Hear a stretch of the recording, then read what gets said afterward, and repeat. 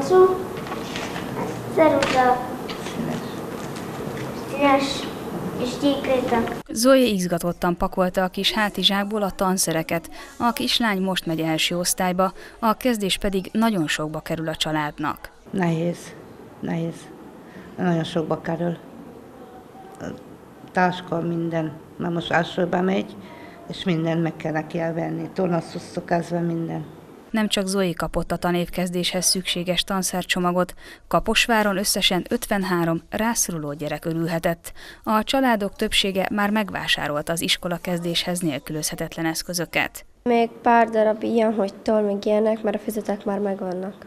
Idén negyedik alkalommal szervezte meg a Baptista Tevékeny Szeretett Misszió Alapítvány adománygyűjtő és osztó kampányát, amelyben országszerte ezer család iskola kezdését támogatták.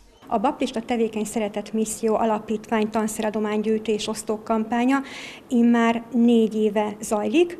Ebből az elmúlt két év során közel 2000 családiskola kezdését támogathatták. Az idei évben ezer csomaggal készültek, amelyből a Kaposvári Új Központunk is, is részesült. 53 gyermeknek tudtunk ezzel segíteni, 53 csomagot ott tudtunk kiosztani.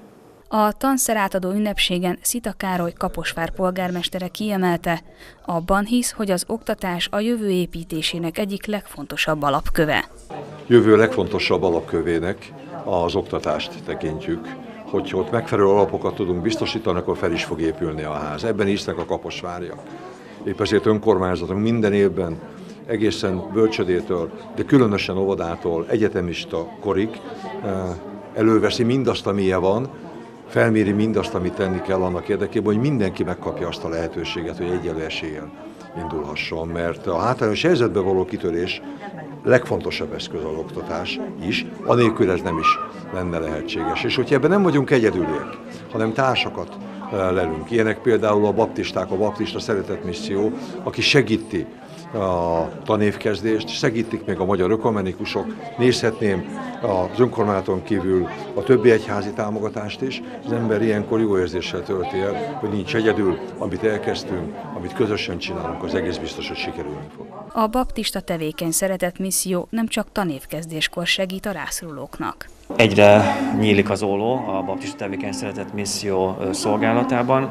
A leges-leges ilyen intézmény az a, az, az új, úgynevezett új központok megalakulása volt, most mintegy 30 van az országban, szerte az országban, mint ahol most is vagyunk, itt nappali ellátásban részesülnek pszichiátri, illetve szenvedélybetegek, olyan 100-110, és ilyenből van 30 ugye az országban, és ezen kívül van idős ellátás, van közétkeztetés, óvodák, bölcsödék, bocsánat, bölcsödék nyílnak, illetve nevelőszülői hálózat is van. A misszió összesen több mint 15 ezer embernek segít a könnyebb hétköznapokért.